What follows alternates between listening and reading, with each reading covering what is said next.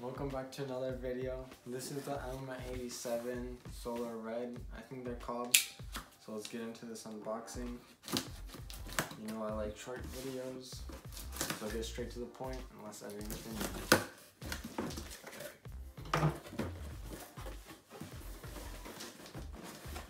So has a regular red box. Open it.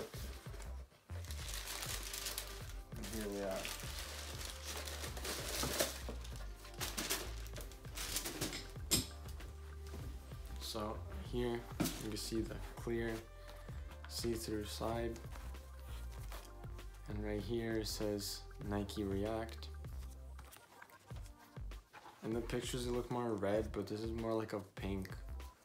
And then right here you have the Nike swoosh. On the bottom has these nice the traction. Looks like an octopus.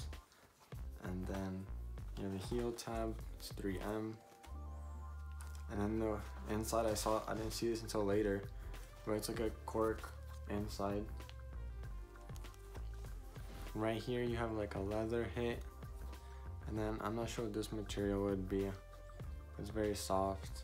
And this is also leather right here. The inside, I'm not sure what this is either, but it's like a weird, very flimsy material. The cushioning isn't that soft, but there's still some support there. Then you also have Nike React here, here.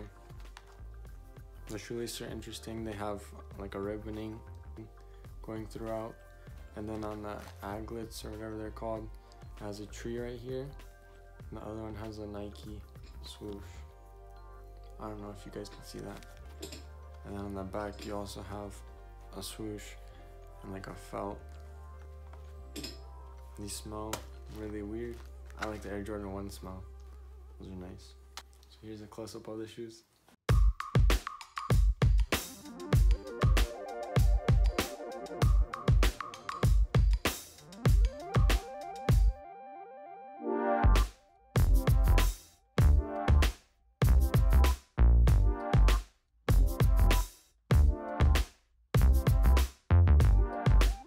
So that's it for this video. Don't forget to leave a like, subscribe. I'm giving away, I think it was like five or six Supreme Bouncy Balls when I reach 100 subscribers. So the more active you are, the better chance of you of getting it. So like, comment, what do you guys think about these shoes? Put that down below. See you next time.